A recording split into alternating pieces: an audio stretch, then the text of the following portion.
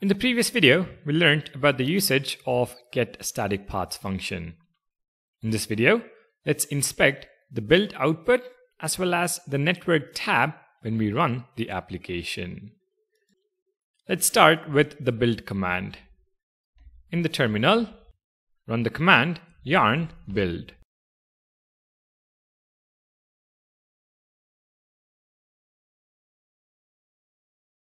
This takes a couple of seconds to generate the build folder. Now for the first part, let's make sense of the build output in the terminal. Like before, we have a list of all the individual pages generated. We have the root page and the 404 page. Then we have the posts page, which is statically generated. And we know that because of the filled circle indicating SSG.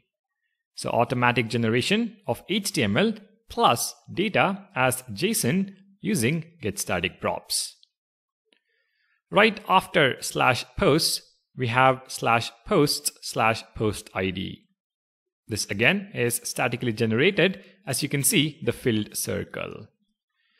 But for this route, Next.js uses the post ID returned from getStaticPaths to generate the individual pages.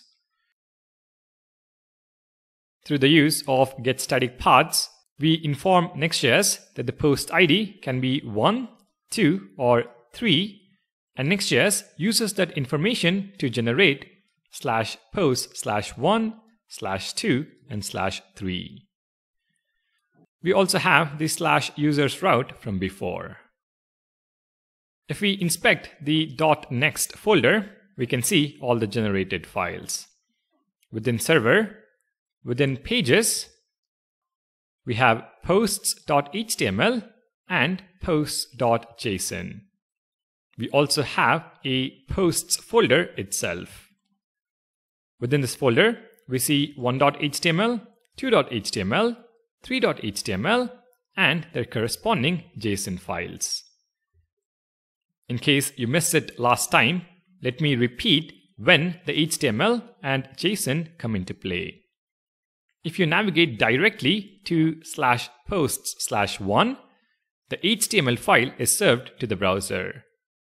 However, if you navigate to slash post slash one from another page using the link tag, for example, the JSON is used to preload the data into the required page.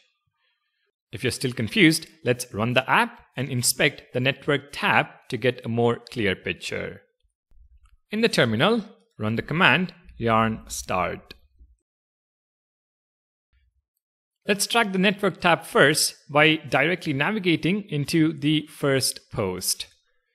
So open DevTools, go to the network tab, navigate to localhost 3000 slash post slash 1, and then I'm going to empty cache and hard reload.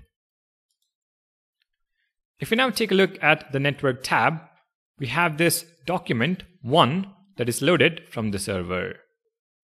The content type is text slash HTML and the preview is available.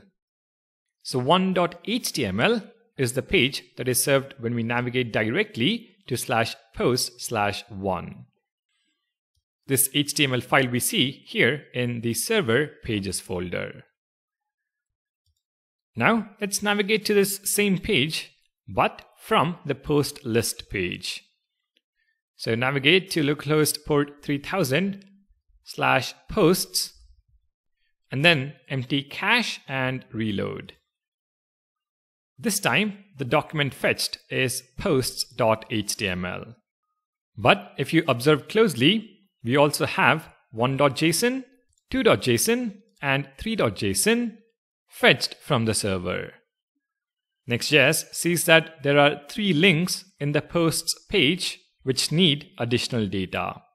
So it will fetch the necessary JSON ahead of time. If you now navigate to slash post slash one, no additional data is required. You can see there is no activity in the network tab. 1.json from before is used to build this page you're seeing in the browser. This helps Next.js provide that performance improvement in page load time. If you view page source, the content is still present along with the JSON data that is needed as props for the page component. And remember, the link component prefetching doesn't just apply to pages with getStaticPaths. If I navigate to the home page, empty cache and hard reload, both users.json and posts.json are prefetched. This is because a user can navigate from this page to either the users page or the posts page. And if we do navigate to slash posts, the JSON files for post ID 1, 2, and 3 are prefetched. Hopefully, after inspecting the build folder and understanding the network tab behavior with respect to navigation, getStaticProps and getStaticPaths are making much more sense to you now. Thank you all for watching. Please do leave a like if you're enjoying the videos and make sure to subscribe to the channel.